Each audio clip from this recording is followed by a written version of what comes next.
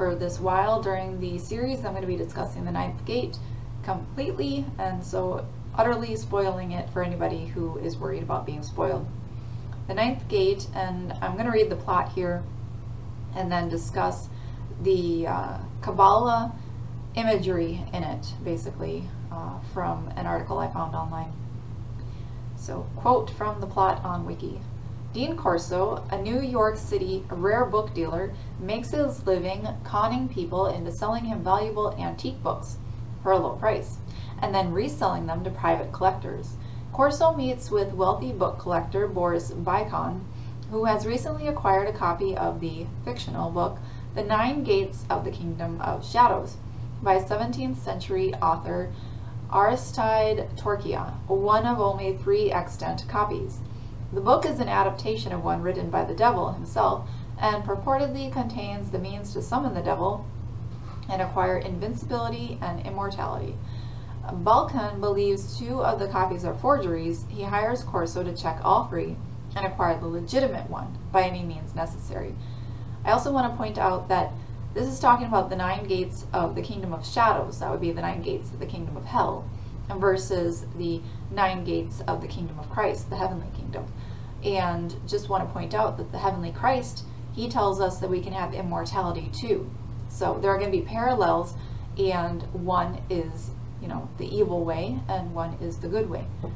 Continuing on, uh, Balkan's copy was acquired from Andrew Telfer, who killed himself soon after. Telfer's widow, Liana, seduces Corso in a failed attempt to get the book back.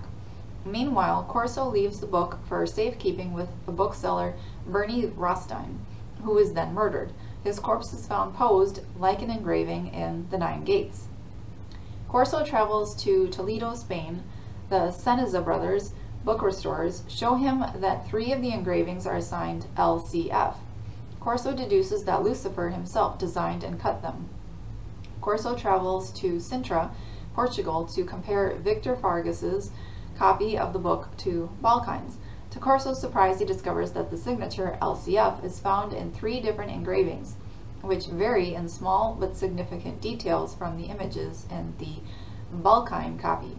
The next morning, a mysterious young woman, identified only as the girl, who appears to have been shadowing Corso since Balkan hired him, awakens Corso and leads him to Fargas's house.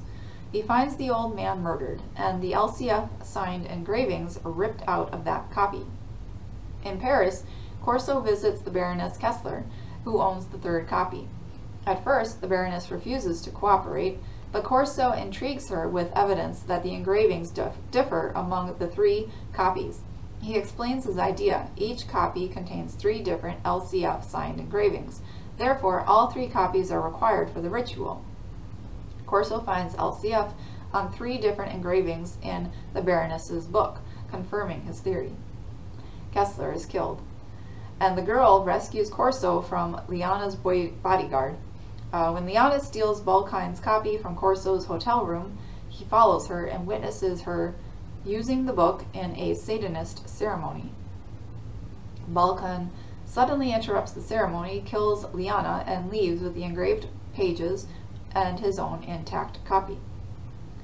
Corso pursues Balkan to a remote castle, depicted in one of the engravings, and finds Balkan preparing the final ritual. After a struggle, Balkan traps Corso in a hole in the floor. Balkan performs his summoning ritual he arranges the engravings on a makeshift altar and recites a series of phrases related to each of the nine engravings. Balkan then douses the floor and himself with gasoline and sets it alight, believing himself to be immune to suffering. Balkan's invocation fails and he screams in pain as the flames engulf him. Corso frees himself, shoots Balkan, takes the engravings, and escapes. Outside, the girl appears and has sex with him by the light of the burning castle, her eyes and face seeming to change as she writhes on top of Corso. She tells him that Balkan failed because the ninth engraving he had used was a forgery. On her suggestion, before she disappears, Corso returns to the Ceniza brothers' now vacant shop. By chance, he finds there the authentic ninth engraving. On it, there is a likeness of the girl with the last engraving in hand. Corso returns to the castle. He completes the ritual and crosses through the ninth gate into the light. Notice that it's light. Um, this is seemingly um, not so much a Satanist story as a Luciferian tale. Um, but I also wanted to point out that it talks about how they kept doing these rituals and things like that. But it seems like I've watched a few videos on it, discussing it, decoding it, and all that stuff. And it seems like um, the the cards, the pictures that were in the book, were their representation of like tarot cards.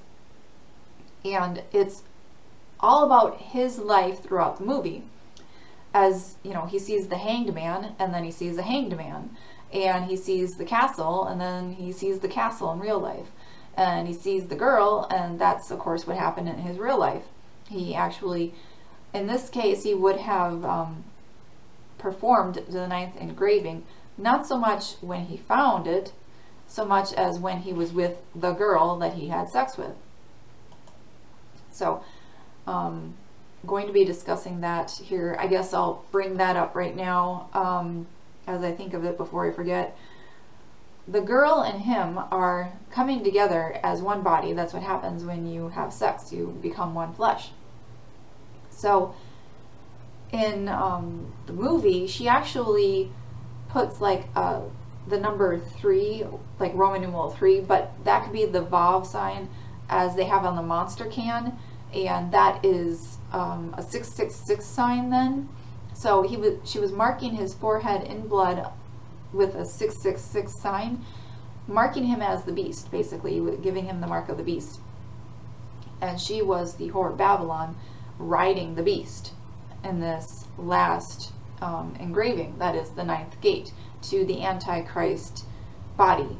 It's becoming one with the whore.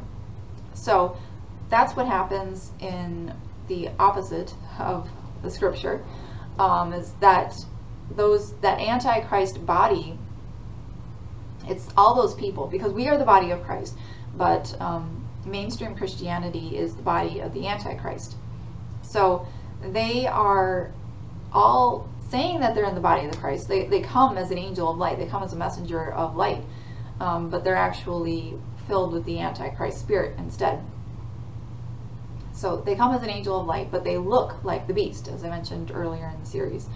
Um, when somebody comes to you and says that they come as a Christian, they're taking the name of Christ. They're coming in the name of Christ, and they are blaspheming our Father when they say they come from Him and sin because that's how you profane Father's holy name. And they're blaspheming him and they're also giving him that bad reputation. And when they are attacking the brethren, the true body of Christ, then they are working for the Antichrist, basically. And they become like Satan, the accuser. So they are a messenger of Satan, the accuser, when they are giving you messages, accusing you of things. So the mainstream Christians do believe that's like the body of the Antichrist. This is according to scripture. and uh, they would just say, I'm twisting it, but it is what it is. So they become one with the Antichrist beast when the whore is riding the beast, um, and they're in that body. So I do believe the whore is more the Roman Catholic Church, the Roman Church basically. I mean, Rome has always been the whore that they're going after, that pagan, pagan trinity, pagan idolatry. Um, it's not surprising that the uh, Christian church, the mainstream Christian church, is full of pagan ideas and uh, not scriptural at all.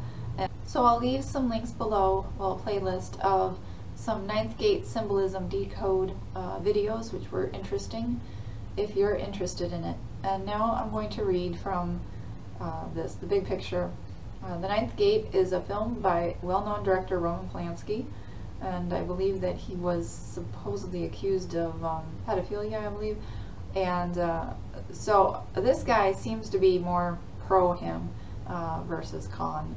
But uh, regardless, this isn't even who wrote uh, what's coming up. It says, This is the first section of nine in which Ms. Whitney relates the contents of the movie and the book to the Kabbalah and the Tree of Life. In the process, she makes it clear that the profound truths that seem to be lurking in the ninth gate are almost certainly intended by all of the creators of the book and movie.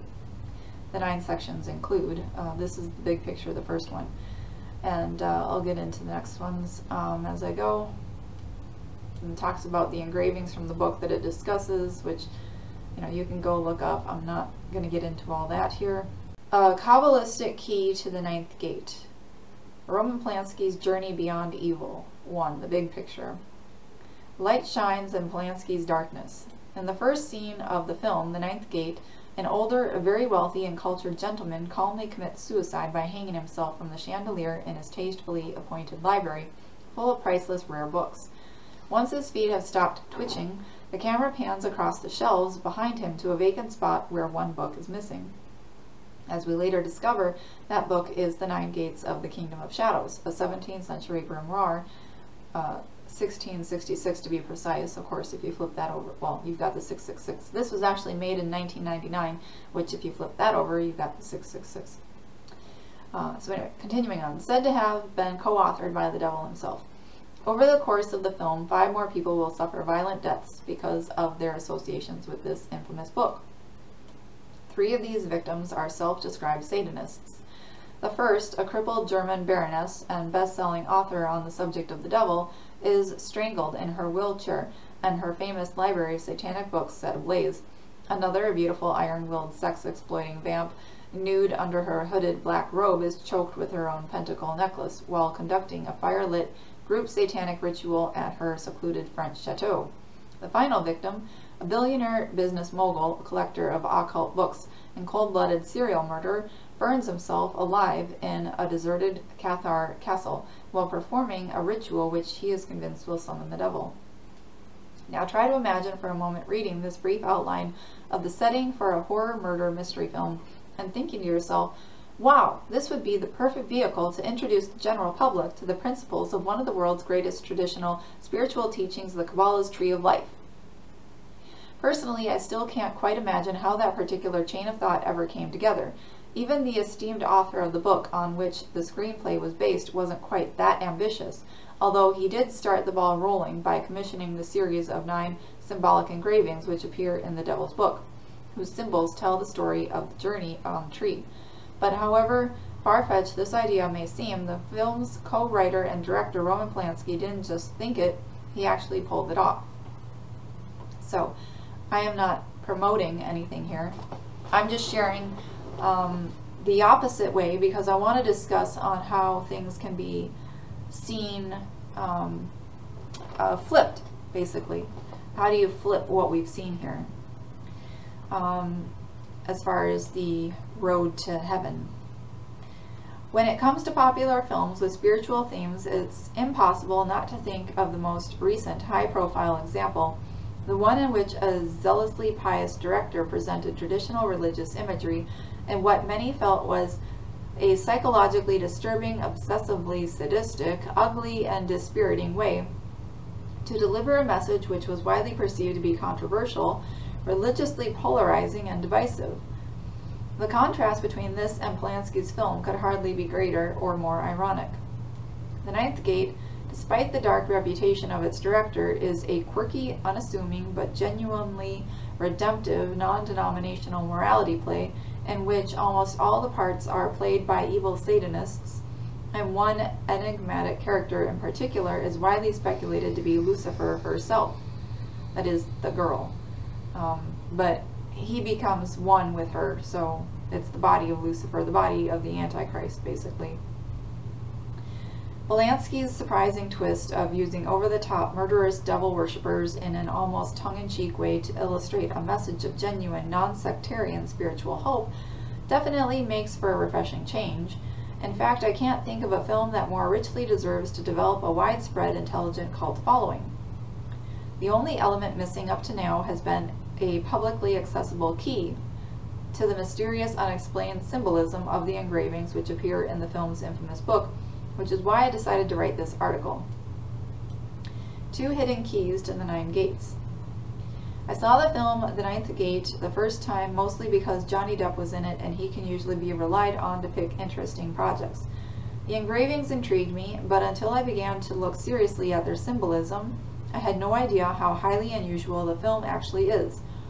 In my opinion, it's one of a kind because it has done something that no other movie that I'm aware of has attempted.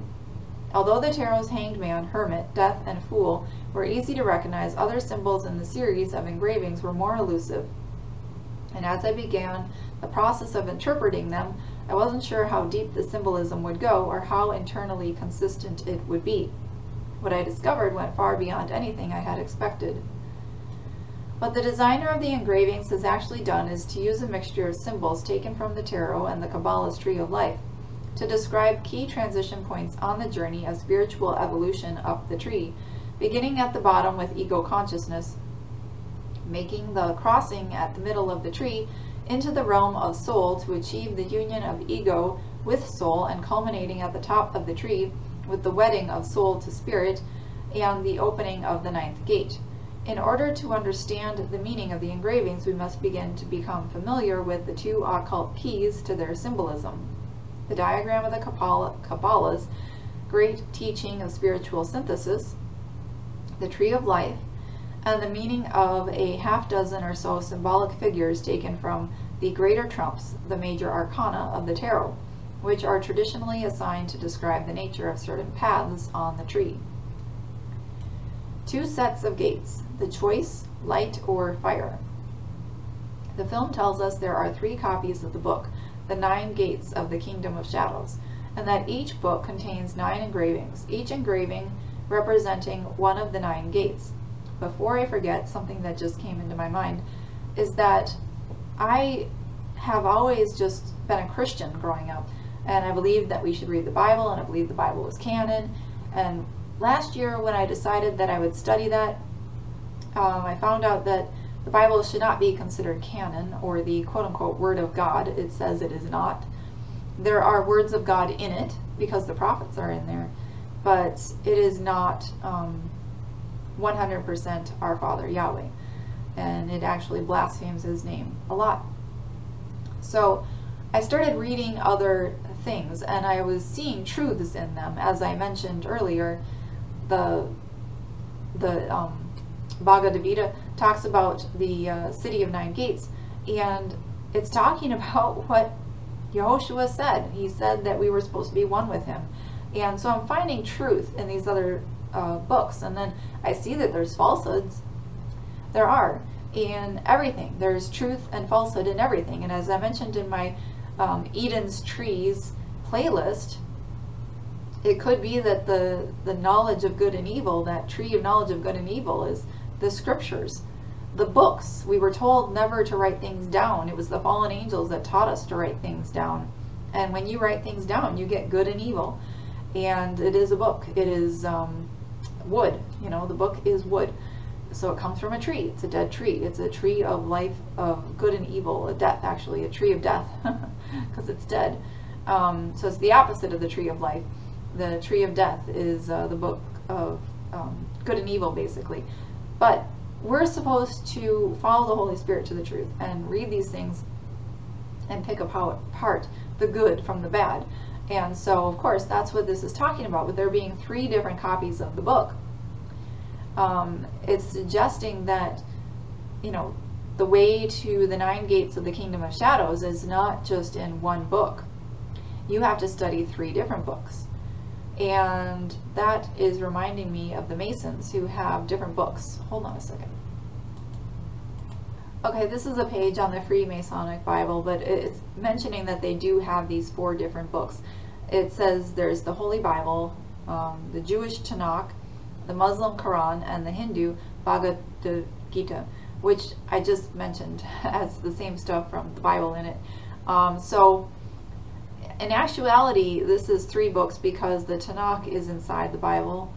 Um, unless there's more to the Tanakh than I know of, uh, this is three different books, three different religious books here.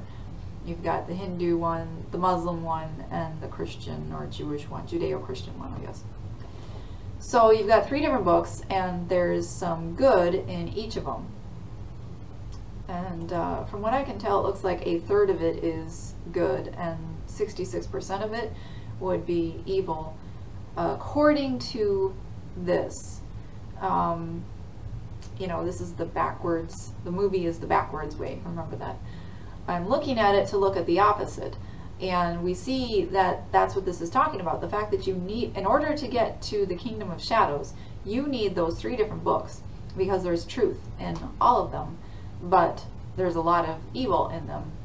Now, you can flip that because this is the wrong way and say that um, a third of our books is false. So you can say that a third of the Bible is false, or a third of the Tanakh is false, a third of the um, uh, Quran is false, a third of the um, the Hindu one was false.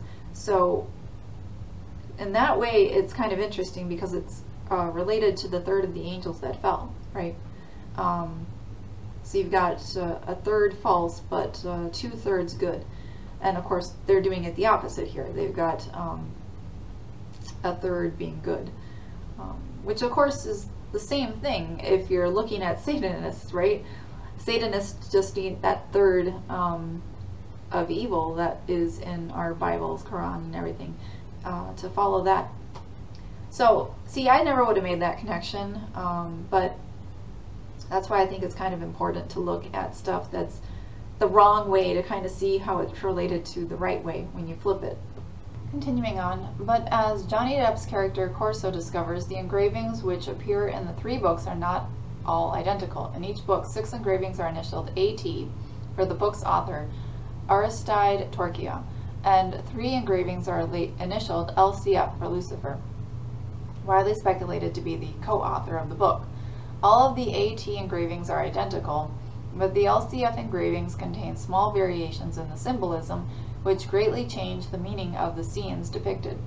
And because of the and because the engravings which are initialed LCF vary from book to book, all three books are necessary to obtain a full set of LCF engravings describing all nine gates. In order to illustrate the meaning of the variations and the symbolism of the engravings, the film has us follow along on the adventures of two main characters. The first, rare book dealer, Corso starts out as a paid agent of his employer, Balkan, but with the help of an enigmatic character known only as the Girl, Corso manages to make the true journey, which is depicted in the LCF engravings, a journey from ordinary ego consciousness all the way to ultimate enlightenment and an experience of the world in the form which is symbolized in the book of Revelation as the New Jerusalem. This ultimate destination which the traveler through the LCF gates reaches is symbolically represented in the film's final scene in which Corso walks into a castle blazing with light. There is a clear correlation between the order in which we see the engravings in the course of the film and the progress which Corso is making on his journey up the tree through the gates the modifications which Roman Polanski and his fellow screenwriters made to the plot taken from the book are completely consistent with the symbolism of the journey depicted in the engravings, so much so that it can only have been intentional. Now, I'm just going to point out that somebody led by demons could do things and it would be intentional on the demon part, but the people that are led might be totally spiritually blinded and uh, we don't know. I don't know if it was intentional on their parts, but um, our Father can make things happen too. And if it is um, sharing the the tree of life, perhaps it's something different. So you know, like maybe it was, I don't know, for the purpose of a video like this to sort of um, expose what's going on, um, their their journeys, and flip that to see our journeys. So I'm going to continue on.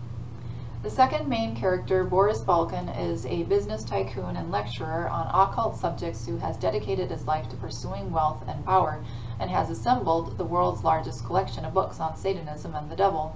After managing to gain possession of one of the three copies of the Nine Gates, he tries to use it to perform a ritual which he believes will summon the devil, and who will then grant him unlimited wealth and power. When his ritual doesn't work, he suspects forgery and hires Corso to track down the other two copies of the book.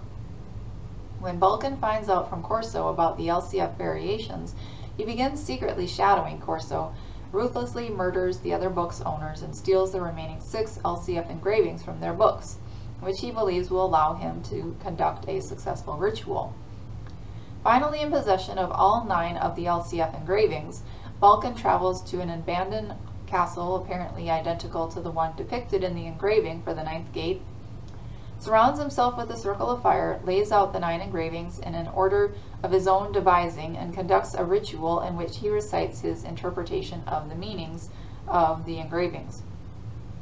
Confident of his success, he sets himself on fire to demonstrate his invincibility, and instead burns to death or he would have if Corso hadn't finally shot him as an act of mercy. When Corso later asked the girl why Balkan didn't succeed, she says it was because his LCF engraving of the ninth gate, depicting the castle in flames, was a forgery. But is it really as simple as that? As we will see, the journey which Balkan made in real life followed the path described in the AT version of the engravings, and the path through the nine AT gates leads inevitably not to light, but to fire. So according to this, um, by following the wide gate, um, they are led to fire. And it's only those who are illuminated uh, and following the other path, the uh, 33%, that goes to the light. So that that's maybe why they consider themselves also elite. Um, it's only the 33%. And that might be why they believe in the 33 also. Um, so if they follow the 33%, then they believe they go to the light. However, the 33% is the fake scripture from our scriptures. And if you follow the 66% of our scriptures, perhaps that will lead you to the light. And I know that there are truths in those other um, texts, such as the Quran, um, which would say don't worship Jesus as um, Yahweh, because he always said that he wasn't Yahweh. And uh, Paul's a false apostle. So, you know, the Quran has some stuff that's right. And the Bhagavad Gita has that stuff about um, letting go of the self and following the Holy Spirit inside to um, to do His will instead of your own will. And of course, that's what Jesus taught. Yahushua taught us to do that. So that's right. And um, the Tanakh has that, of course, as I read um, Deuteronomy earlier. And it's all about giving you life and death, and you're supposed to choose life. And the prophets continually came and told them, you know, Yahweh never asked for sacrifices, and we're supposed to be doing His will and stop with the pagan idolatry. And, you know, there's a lot of good there. So I believe that our Father left crumbs in all of these different religious texts for us to follow. But 33% perhaps is fallen and that is what would lead you to fire, whereas the rest would lead you to light.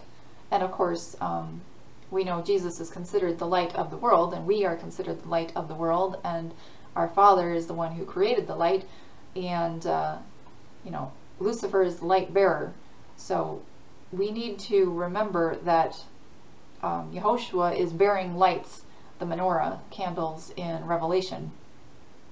And um, I don't believe that there is one fallen angel named Lucifer or Satan or the devil. I've talked about this in the past and you can see my playlist on that. In order to keep this under 30 minutes, I'm going to stop here and continue on in the next part. Shalom.